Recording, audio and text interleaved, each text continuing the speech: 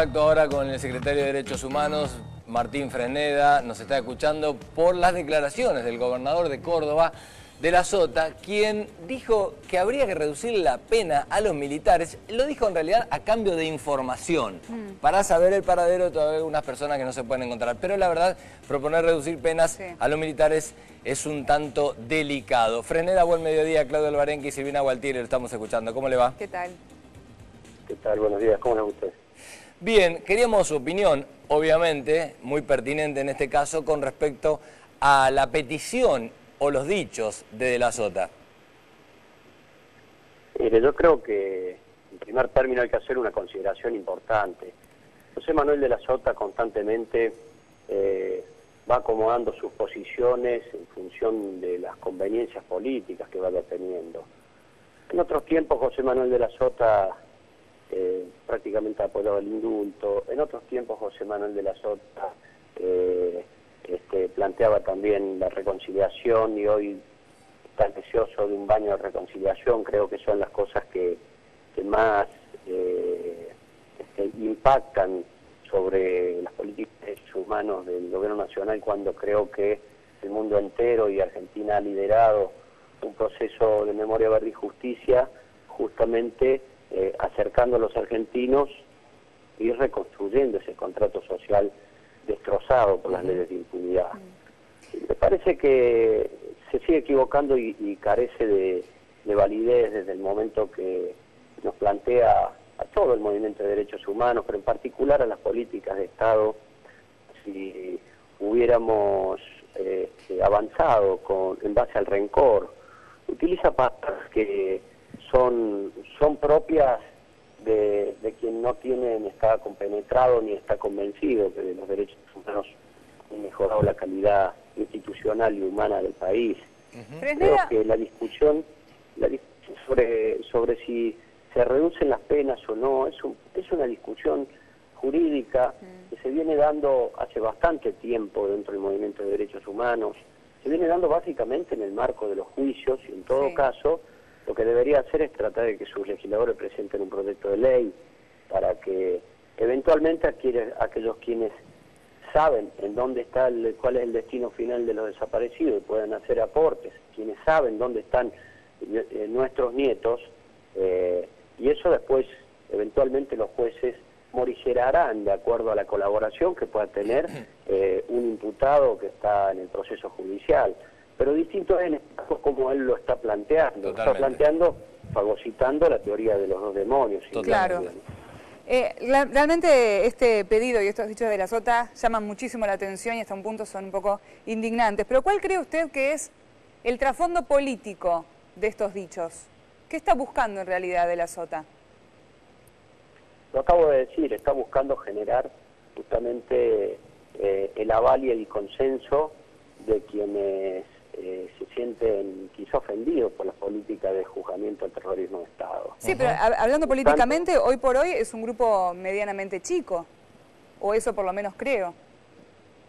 Está buscando, bien lo dice en la misma nota, quienes también este, pretenden eh, volver con la teoría de los dos demonios en la Argentina y plantea la situación conjuntamente con Moyano, la situación de lo, lo que ha sido asesinato Rucci, sobre los reclamos que, se vienen eh, formulando hace tiempo.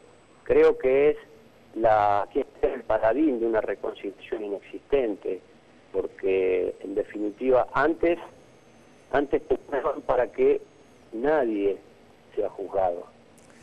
Hoy que fue imposible que esa política se detenga porque es una política concordante con los compromisos históricos de Argentina con la comunidad internacional, para con las víctimas, y han visto que era imposible la impunidad en Argentina, ahora quieren encontrar justamente esa palabra, quieren volver a recuperar eh, esa, esa consigna política de la reconciliación. Totalmente. Pero este, desde una perspectiva distinta, atacando uno de los logros más importantes que tiene el gobierno. Por eso, ojo, yo en otros tiempos he tenido conversación con José Manuel de la Sota cuando estaba absolutamente de acuerdo con las políticas de derechos humanos porque estaba eh, próximo y estaba cercano al kirchnerismo.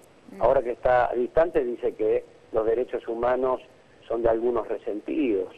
Justamente... toda seriedad eh, la postura de un gobernador que lo único que quiere es eh, deteriorar un logro que es de todos los argentinos. Justamente, eh, para cerrar, quería hacer referencia a estos dichos que para mí son de los más graves y, señalar, como bien dice, la bandera de la reconciliación obviamente es una bandera que abrazamos todos los argentinos. El tema es el uso de esta palabra y de esta bandera. Y para cerrar, decía que la palabra de Freneda es obviamente la más pertinente en este caso porque de la Sota dice, hay algunos que hacen de la política del resentimiento y no han hecho política de derechos humanos. Como secretario de Derechos Humanos, si bien ya nos ha dado indicio con respecto a lo que piensa, ¿qué le significa, qué le hace sentir, qué le sugiere esta frase final de De la Sota? Mire, yo lo que creo, honestamente, es que De la Sota es el mismo que dijo que las madres debían cuidar a sus hijos. Mm. Yo, debían cuidar bien a sus hijos. Yo le quiero decir una cosa, no estoy de acuerdo tampoco con la palabra reconciliación. Yo estoy de acuerdo con la palabra encuentro con memoria, verdad y justicia. Los argentinos nunca estuvimos enemistados a causa de eh, un proceso de juzgamiento. De ninguna manera. Las Fuerzas Armadas incumplieron con el deber constitucional que tenían y esta palabra reconciliación parte sobre la hipótesis de que los argentinos estamos divididos. De ninguna manera hubo un ejército. Está el ejército y está el pueblo. Ese fue el origen cuando se dio la, se dio la ley de obediencia civil y punto final.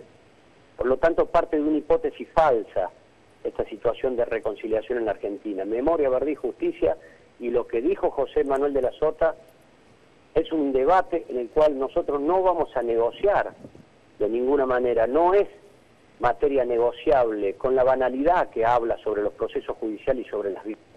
No es negociable el proceso de justicia en Argentina.